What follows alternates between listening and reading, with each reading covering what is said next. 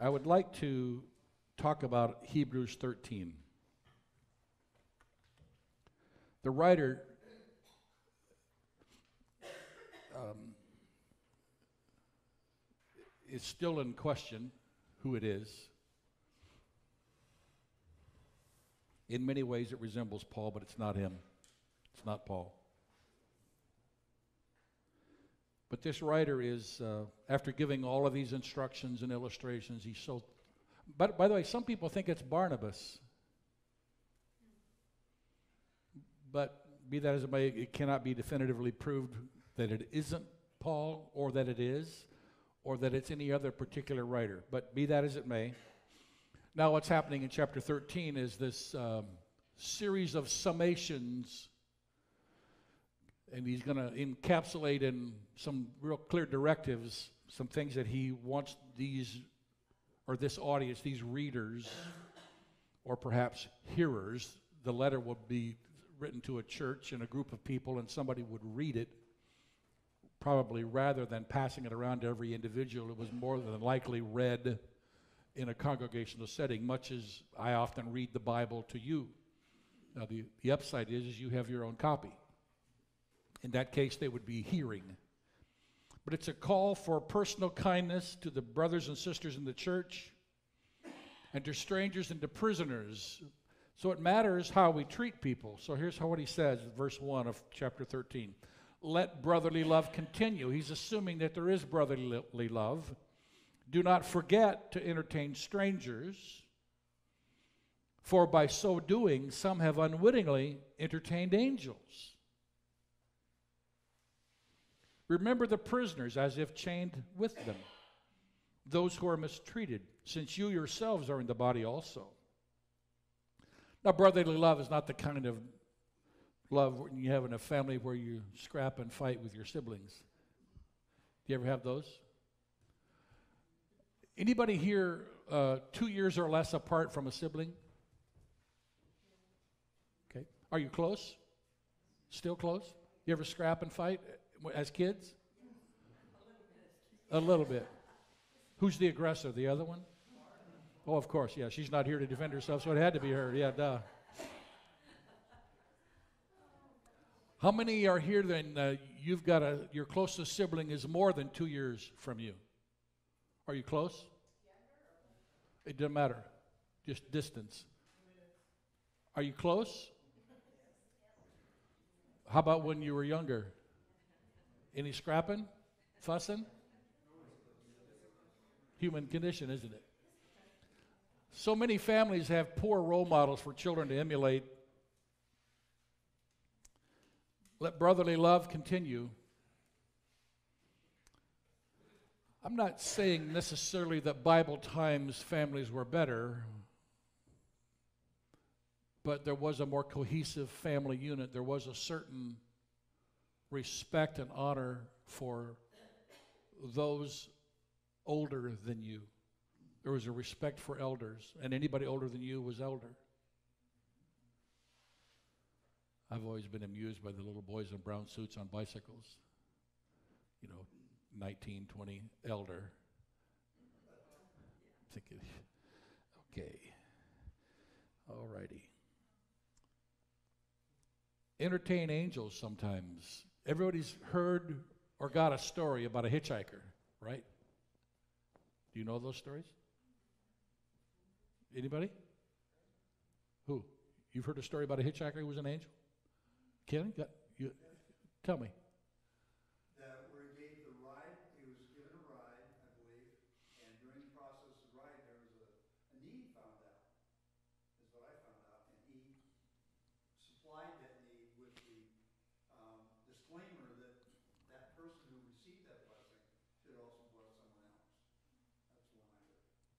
And then what happens to the hitchhiker?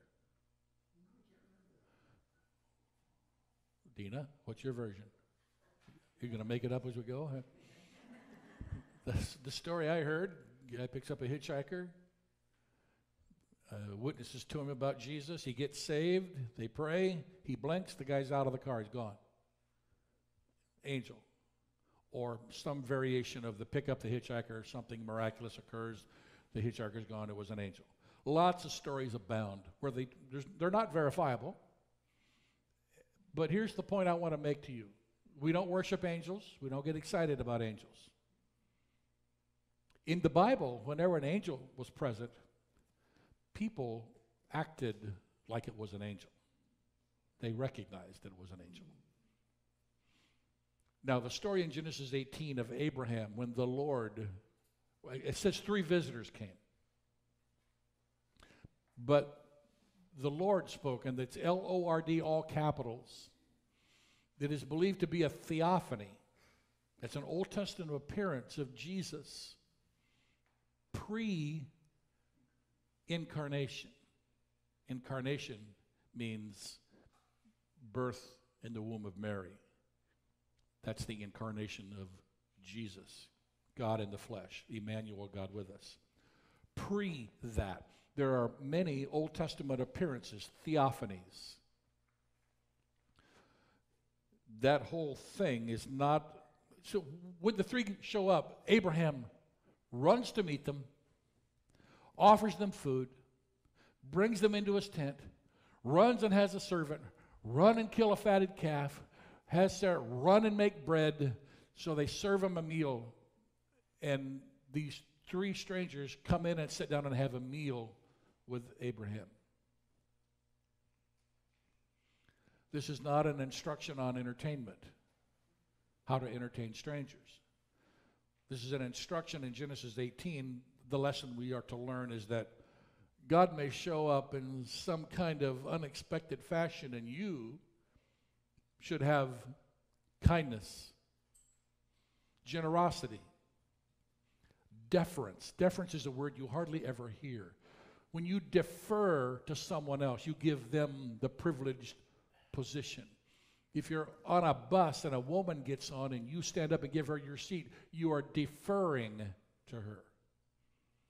Deference uh, it's hard to show deference to someone above you in a food chain unless you can distinguish and differentiate between position and personality. Sometimes the people above you, they're not good persons. But because of the position in the food chain, you can defer and show preferential um, I don't mean to repeat, I was going to say preferential deferment, but preferential treatment to somebody above you. You're recognizing the position without regard to the personality. So, how can you be a submitted child of God walking in submission to authority unless you know how to defer? Most of us are selfish. Or perhaps we're shellfish, I'm not sure. But we are selfish. And because of that, we tend to um, preserve our own self interest first. If I am crucified with Christ, then the life I live is by faith in the Son of God who loved me, gave himself for me, and I'm, I'm not interested in my own position. Um, we're going to get to some scriptures that'll deal with that, but I just wanted to emphasize that God desires a personal relationship with you. God came down himself to tell Abraham, The promise I made all those years ago is about to be fulfilled. The time is at hand. And God showed up to tell Abraham, Let's have a meal, let's commune together. It's a personal relationship thing. So it matters how you treat people because God wants to be represented well. So showing kindness is a good idea. God is into personal relationships. Hebrews 13, 3. Remember the prisoners as if chained with them, though those who are mistreated, since you yourselves are in the body also. It's the golden rule treat others the way you'd like to be treated.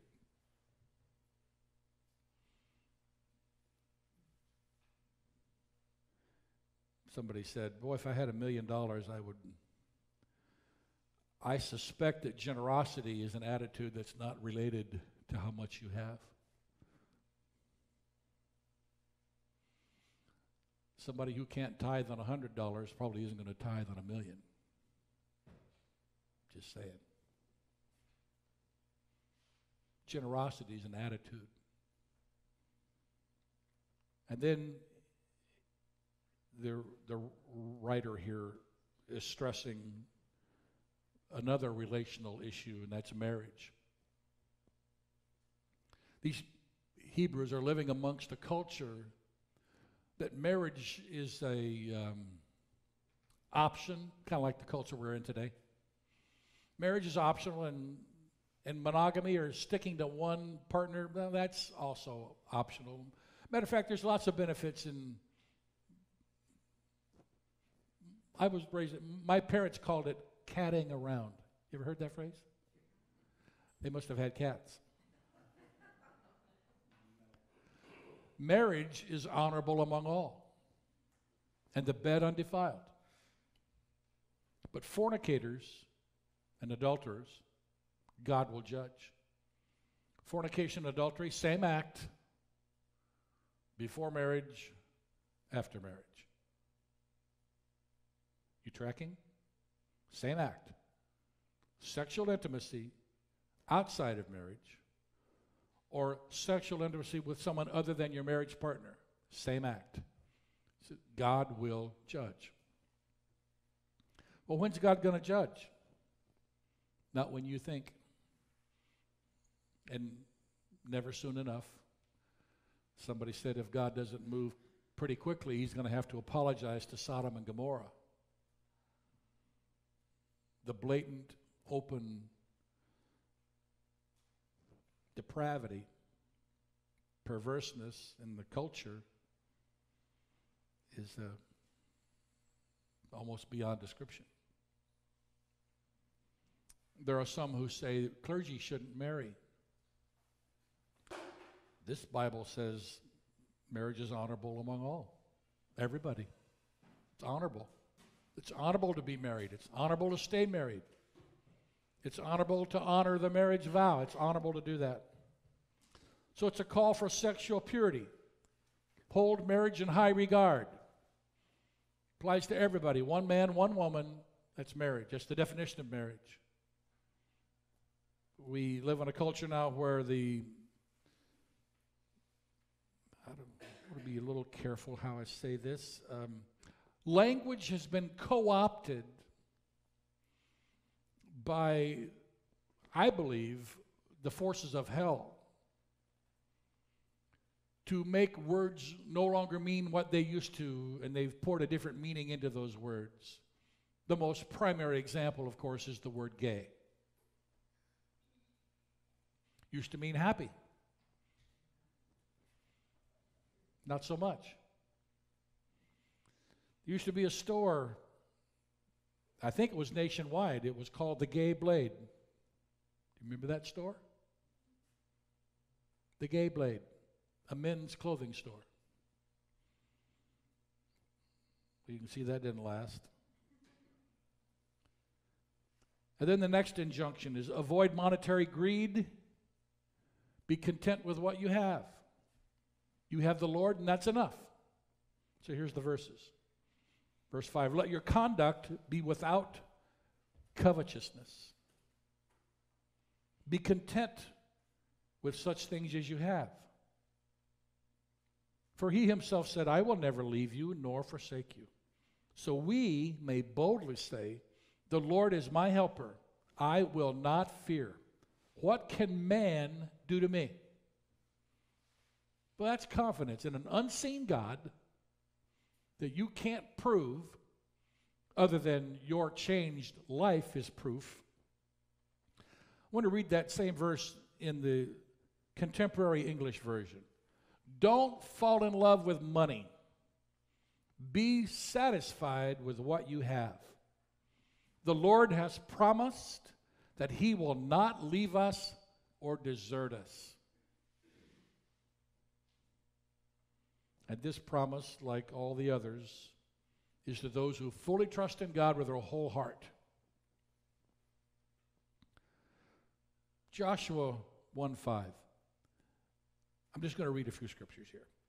No man shall be able to stand before you all the days of your life. As I was with Moses, so I will be with you. I will not leave you nor forsake you. First Chronicles 28 20. David is speaking to his son Solomon.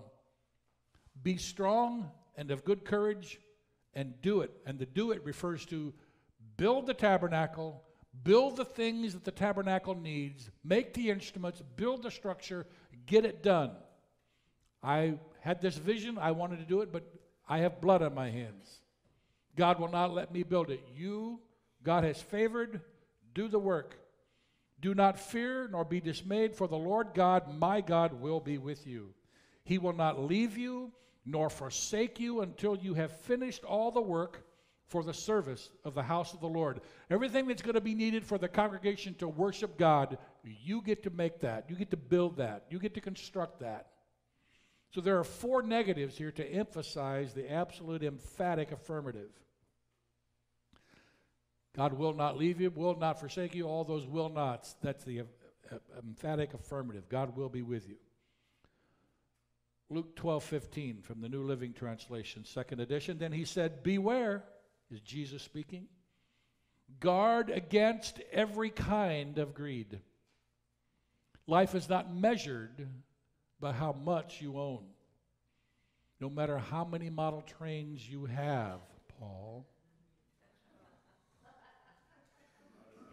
Not enough trains, and not a big enough house to run all the track. You need to co opt the uh, Museum of Natural Science and Industry down in Chicago and bring that whole thing and put it in your house.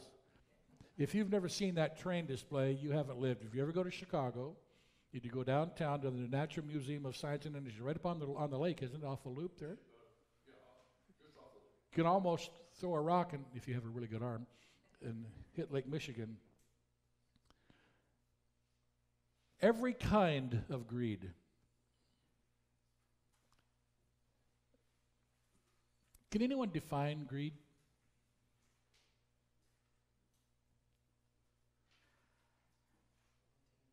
Wanting more. Never enough. I believe it was J. Paul Getty in the early 1900s, very filthy rich. I don't know if he was filthy, but he was rich. Or perhaps it was Rockefeller. I don't remember which one. Being old and forgetful, it's hard to tell. Anyway, one of these rich guys, you know, one of, one of Wilbur's relatives, they said, How much more money do you need? And he said, Just a little bit more. When you have power, you want more power. When you have money, you want more money. You want your money to make more money. If somebody gave you a million dollars, wouldn't you try to figure out a way to make the million become two million? Liar. You'd, go to the Table Mountain, see if you could, uh, or you do something. Invest in real estate. You, you, you'd try to find a way to make that money do more than just, because otherwise you'd consume it all up. So that's why the scripture said life is not measured by the stuff you have. Philippians 4:11, the New Century Version. I'm not telling you this because I need anything. I have learned, I love this phrasing. I have learned to be satisfied with the things I have and with everything that happens. You know, if you could just do that, this, would be the only sermon I'd ever need to preach the rest of my life. If we could learn that, satisfied with the things I have and with everything that happens. Man, I don't know how you can be satisfied when, when you have tragedy. But the Bible says the just will live by faith. But we, being supposedly rational and sane humans, we want answers. We want to figure out why did this occur? Why did this happen? And kind of it's a, it's a thing that says, well, maybe I could avoid that. Maybe this doesn't need to happen to anybody else. Uh, God is never caught by surprise. God has taken into account the mistakes others will make regarding you. He's taken into account your mistakes. He's taken into account all the things that you will fail at. He's already calculated that in. The Bible says clearly that our days are numbered in His book. When you are conceived, your DNA is set in motion, and those things are a given. God is never caught off guard by any decision you make, any change of mind, any reversal of the change of mind. All of those things are already considered by God, who is omniscient, knows everything. That's just almost too difficult to get your brain around that. Because we have free will, and yet God is aware and knows. Satisfied with everything I have and with everything that happens. To be to choose to be content with that. Doesn't mean you have to be happy about it, but you can be happy and contented in it. Because God is never caught by surprise. 1 Timothy 6. Serving God does make us very rich if we are satisfied with what we have. We brought nothing into this world and we can take nothing out. But if we have food and clothes, we'll be satisfied with that. Those who want to become rich bring temptation to themselves and are caught in a trap. They want many foolish and harmful things that ruin and destroy people. So I started this by saying, avoid monetary greed, be content with what you have. You have the Lord, and that's enough. And then religious directions follow the moral directions that we've just gone through. And I'm only going to do a couple of verses here. I'm going to pick it up at verse 9 next week. But uh, remember those who rule over you, who have spoken the word of God to you, whose faith follow, considering the outcome of their conduct. Jesus Christ is the same yesterday, today, and forever. And I believe what the writer is saying your past leaders may have passed on, they, they may have died, they may have passed away, but we have Jesus who never changes. Consider the outcome of their life, imitate them, and follow him. So there are many spiritual leaders through our lifetime, Billy Graham being the most recent, who was large on the world stage. We can imitate him, but follow Jesus. Amen. Rely on him. Father, would you bless your word to our lives today? You allow us to touch many people, some believers, some non believers. Lord, help us to be aware that when we are kind, we are displaying the characteristics of you, who in loving kindness and mercy sought us, bought us with your own blood, redeemed us, bought us back, claimed us as your own, adopted us. It's, it's incredible. So, Lord, may we have a right and biblical understanding that we can conduct ourselves in a way that is honorable to you.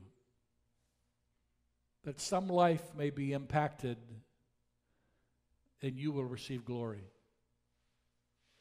Thank you, Lord, for helping us see better, do better, and represent you better. For this we praise you and thank you. In Christ's name we pray. Amen.